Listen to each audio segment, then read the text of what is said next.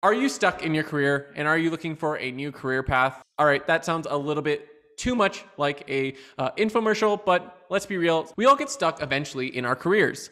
We eventually either get bored of what we're doing or just realize we've kind of been doing the same thing over and over again for either two years, three years, five years. It kind of ranges for when people get hit by this, but we all feel stuck.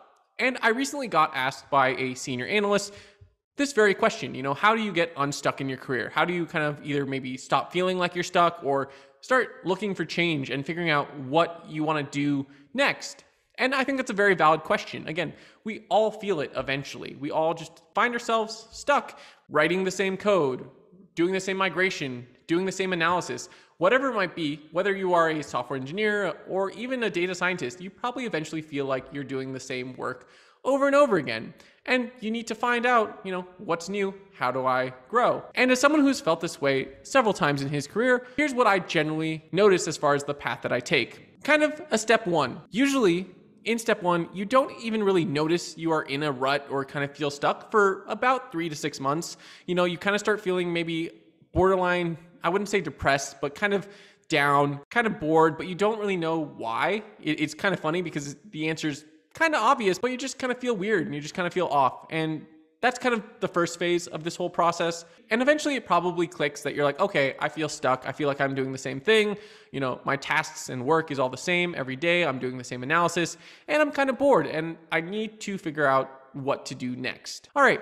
Now you have admitted to yourself you're stuck and you need to figure out how to get out of this rut. So step two is define what next is for you.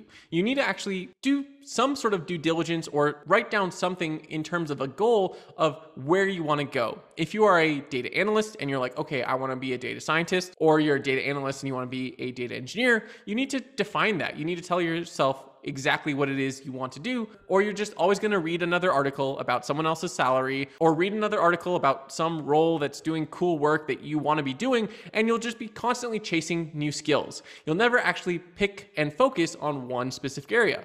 So you need to tell yourself, okay, I want to be a data engineer. I want to be a data scientist.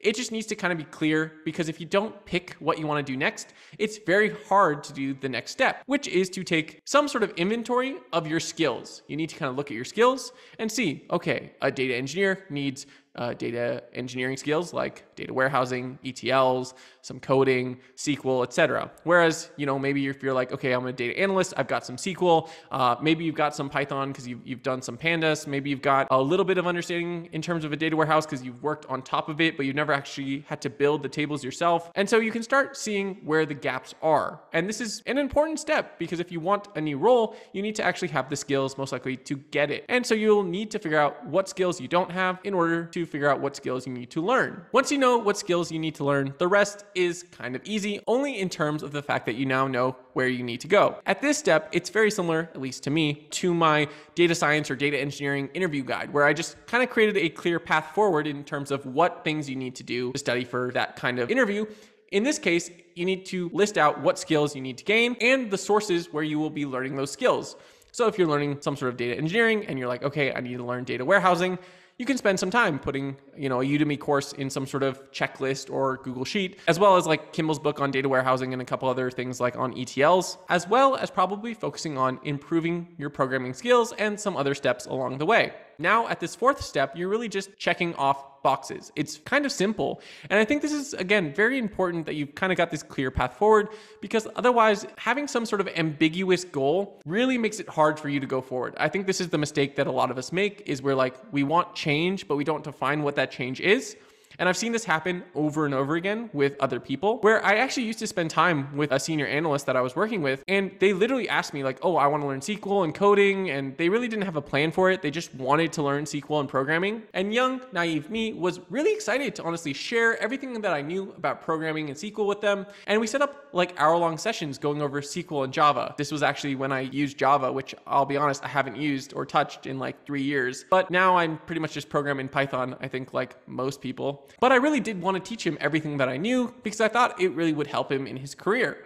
Eventually, though, what I would see is that he really didn't do anything with these new skills or even really pursue going deeper into them. Probably because he didn't really have a clearly defined goal, but instead was just like, oh, I want to learn programming in SQL, but for no real purpose. And I think that's why it's really important because if you don't really have a purpose for why you're doing something, you might not do it as well as you could, or you might eventually lose interest when you read the next article about, you know, whatever it might be, DevOps, MLOps, machine learning, deep learning, and now you're suddenly like, oh, I want to work in that instead. And so without having that clear path, you're just going to kind of eventually stall or just get stuck in tutorial hell which is just something we kind of reference in the tech field, which is you're constantly just watching the new how to develop a neural network intro 101, you know, in 11 minutes, or how to write your first Flask app or something like that. Something that's like very intro, but you never are looking to really improve your skills. You're just constantly restarting the next tutorial. And I think one of the reasons that this happens is there's no clear end goal. You're kind of just doing it because you think it's the right thing to do, but you haven't really taken ownership of your goals in your mind. And I think that's very important. One other thing that I don't always think is discussed when we talk about, you know,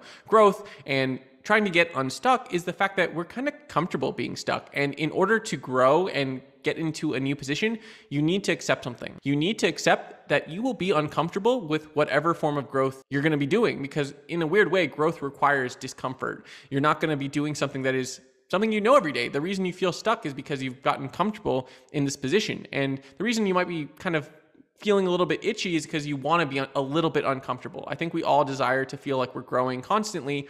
And so when we feel stuck, we want to we we're trying to feel uncomfortable. And so you have to understand that and realize there will be discomfort. Uh, you know, growth is kind of scary, right? Like you're going into a place that you've never really been before. You know, if you're taking on a new role, going into a new company, these are scary things to do, right? Um, unless you're super confident, which I know some people are. Some people just think they're amazing at everything. But I think most of us deal with things like imposter syndrome and, you know, just fearing if we're good enough constantly. And so you're going to be uncomfortable if, if it's because you're taking on a new role or you're taking on a new position at a company. Um, these are all things that require discomfort. So that's just an important thing that I think you need to realize is discomfort is part of the process. Uh, accept it now and uh, realize it's kind of enjoyable in its own way as long as it's not too much, right? It's like stress. Just a little bit keeps us kind of on edge and makes it a little more exciting to learn things and do things.